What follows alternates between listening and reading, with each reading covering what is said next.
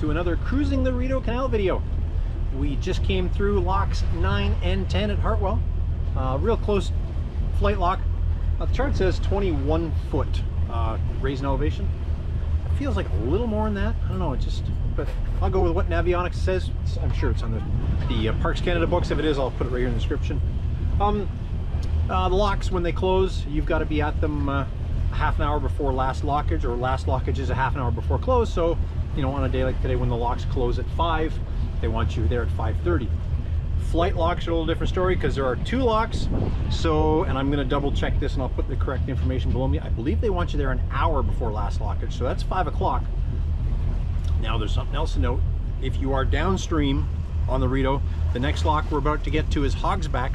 Hogsback has a swing bridge that doesn't swing between 3.30 and 5.30 due to traffic congestion during the week.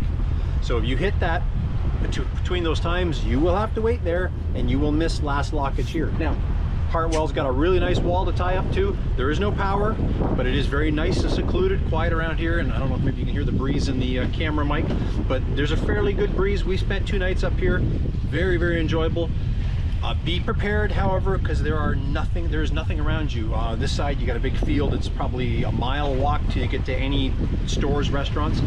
The other side is uh, a big university and there's not much there either. So now there is Uber Eats and all that stuff here in Ottawa and uh, local cab service and deliveries that uh, you we can give them the address and they will bring food down to you if you choose to do it that way. So that's Hartwell Locks. We're gonna on our way upstream here to uh, Hogsback and I will see you then.